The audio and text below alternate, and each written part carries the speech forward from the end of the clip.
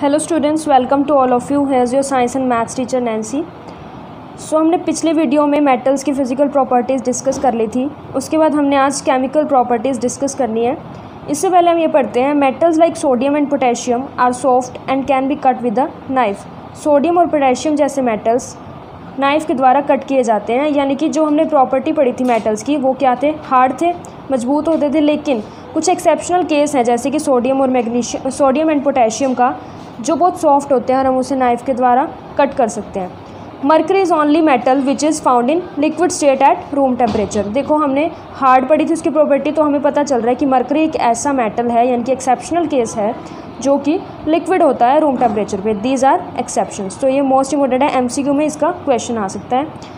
इसके बाद हमारी केमिकल प्रॉपर्टीज़ आती हैं। फर्स्टली हम पढ़ते हैं रिएक्शन विद ऑक्सीजन कि हमारे metals and non metals oxygen के साथ कैसे रिएक्ट करते हैं। ऑक्सीजन हम सबने पढ़ा है, बचपन से हम पढ़ते हैं कि वी ब्रीथ ऑक्सीजन क्या हम ऑक्सीजन कैसे लेते हैं सी रिलीज़ करते हैं। You are familiar with phenomena of rusting of iron rusting of iron होते हैं, जो हमारे जो आयरन की थिंग्स होती हैं, उनके ऊपर जंग लग जाता है ब्राउनिश मटेरियल आ जाता है। Recall the reaction by which rust is formed अब हम रिएक्शन को रिकॉल करते हैं। एक और हमने सेवन्थ क्लास में एक्टिविटी पढ़ी थी, जिसमें हम मैग्नीशियम के रिबन को बर्न करते थे। You had learn that in both processes oxide formation takes place in दोनों प्रोसेस में यानी कि रस्टिंग के केस में भी और मैग्नीशियम रिबन को बर्न करने के केस में भी ऑक्साइड्स की फॉर्मेशन होती है। यानी कि इन मटेरियल्स के ऑक्साइड्स बन जाते हैं। Complete the following reactions of iron and magnesium इनकी रिएक्शंस क्या है? आयरन है, आयरन किसके रिएक्शन में आ जाती है? ऑक्सीजन की हमने पढ़ना भी यही है बिकॉज़ जब हम आयरन का मटेरियल ओपनली रखते हैं तो वो हवा में प्रेजेंस ऑक्सीजन के साथ रिएक्ट कर जाता है और वहाँ पर मॉइस्चर भी होता है तो उसको हमने ले लिया एच टू वाटर अब इसका प्रोडक्ट क्या बनेगा? F E two O three dot X H two हम यहाँ पे भी लिख देते हैं कि इसका प्रोडक्ट क्या है? F E two O three dot X H two तो ये है रस्टिंग का फॉर्मूला इसके बाद जब हम मैग्नीशियम रिबन को बर्न करते हैं ऑक्सीजन के साथ तो हमारे पास क्या प्रोडक्ट बनता है? एम तो इसे हम बोलते हैं मैग्नीशियम ऑक्साइड हमने पहले ही पढ़ा था कि इन दोनों रिएक्शंस में ऑक्साइड्स फॉर्मेशन होगी. फाइन इसके बाद हमारा when a copper vessel is exposed to moist air for long it acquires a dull green coating जब कॉपर वेसल को भी हम ओपन रखते हैं एयर में, उसके ऊपर बिना पेंट किए या बिना कोई प्लेटिंग किए तो उसमें भी क्या आती है ग्रीन कलर की कॉटिंग अपेयर होने लगती है। जैसे कि रस्ट में क्या होता है ब्राउनिश अपेयरेंस आती है, वैसे ही कॉपर में क्या आती है ग्रीन कॉटिंग आती है। ये एम का क्वेश्चन बन सकता है। The green material is the mixture of copper oxide hydroxide अब जो ग्रीन कोटिंग आती है, वो क्या होता है कॉपर हाइड्रोक्साइड आता है एंड कॉपर कार्बोनेट होता है। The following is the reaction हमने कॉपर लिया मॉइस्ट एयर यानी कि एयर की प्रेजेंस में रख दिया। क्या क्या होता है एयर में? मॉइस्चर होती है। कार्बन डाइऑक्साइड होती है ऑक्सीजन होती है, यानी कि सी यू ने, यानी कि कॉपर ने इन तीनों के साथ रिएक्ट किया। हमें क्या प्रोडक्ट्स दे दिए? Copper hydroxide and copper carbonate ये भी रिएक्शन है Now, recall the activity of burning magnesium ribbon. The ash obtained on burning magnesium ribbon is dissolved in water and tested for its acidic and basic nature. अब जब हम magnesium ribbon को burn करते हैं, हमें एक powder मिलता है, यानी कि ऐश मिलती है। ऐश क्या होता है? एक राख होती है। जब हम बर्न करते हैं तो वो हमें मैग्नीशियम ऑक्साइड की फॉर्म में एक ऐश मिलती है। उसको हमने क्या करना है? पानी में घोलना है और इसका एसिडिक या बेसिक नेचर टेस्ट करना है। फाइन कैसे टेस्ट कर सकते हैं हम? इंडिकेटर की मदद से। इंडिकेटर्स होते हैं जो किसी भी मटेरियल का एसिडिक या बेसिक नेचर टेस्ट करते हैं। अब इंडिकेटर्स में लिटमस भी आता है चाइना रोज के पेटल्स भी आते हैं या टर्मरिक भी हम यूज़ कर सकते हैं।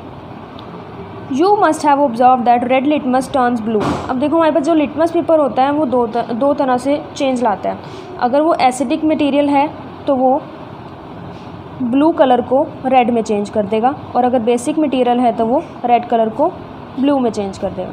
अब हमने जब लिटमस पेपर को यूज़ किया you must have observe that red litmus turns into blue तो जैसे ही मैंने उसमें डाला तो रेड कलर किसमें चेंज हो गया? ब्लू में. यानी कि जो हमारा मैग्नीशियम था वो किस नेचर का था? बेसिक नेचर का. बिकॉज़ रेड से किसमें चेंज हुआ है? ब्लू में. और रेड से ब्लू में कौन चेंज करता है? बेस फाइन तो हमारा जो मैग्नीशियम है, यानी कि वो बेसिक नेचर है. और मैग्नीशियम हमने क्या लिया था? मेटल लिया था. तो मेटल्स ऑक्साइड्स क्या होते हैं? बेसिक होते हैं नेचर में. ये भी इंपॉर्टेंट लाइन है. Let us now observe the reaction of non-metals with oxygen. Activity 4.4 Take a small amount of powdered sulfur in a deflagrating spoon and heat it. अब हमने थोड़ा सा सल्फ़र लेना है स्पून में। किस तरह का स्पून होगा? इस तरह का एक स्पून होगा, जिसमें हमने सल्फ़र लिया है। If this spoon is not available you may take a metallic cap हम एक मेटल की कैप भी ले सकते हैं, जैसे हमारी कोल्ड ड्रिंक्स के ऊपर भी होती है। And wrap a metallic wire around it और उसके आसपास हम एक मेटल वायर यूज़ कर, ले लेते हैं जिससे हम उसको पकड़ सकें।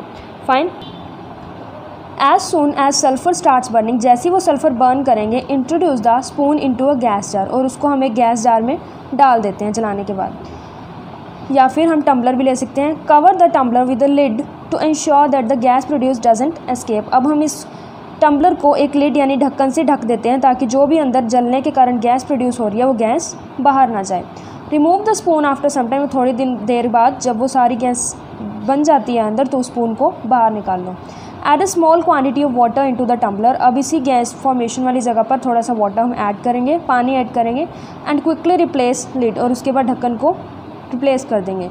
शेक द टम्बलर वेल उस टम्बलर को हमने अच्छे से हिलाना है। Check the solution with red and blue litmus papers अब इस सोल्यूशन को हमने चेक करना है कि ये किस तरह का नेचर शो करता है एसिडिक या बेसिक बिकॉज़ हम लिटमस पेपर इसमें यूज़ कर रहे हैं। The name of the product formed in the reaction of sulphur and oxygen is sulphur dioxide अब हमने जो गैस जो हमारी प्रोड्यूस होती है, उस टम्बलर के अंदर हमने देखा था गैस प्रोड्यूस हो रही थी बर्निंग के कारण। तो कौन सी गैस प्रोड्यूस हुई थी? सल्फ़र डाइऑक्साइड बिकॉज़ देखो, सल्फ़र हमने लिया था। जब हम जलाते हैं, जलाने के लिए कौन सी गैस ज़रूरी होती है? ऑक्सीजन, यानी कि सल्फ़र किसके साथ रिएक्ट हुआ? ऑक्सीजन के साथ। और हमें क्या दे दिया उसने? Sulphur dioxide gas. When this sulphur dioxide is dissolve in water अब उस जार के अंदर या टम्बलर के अंदर हमने गैस प्रोड्यूस होने के बाद क्या डाला था?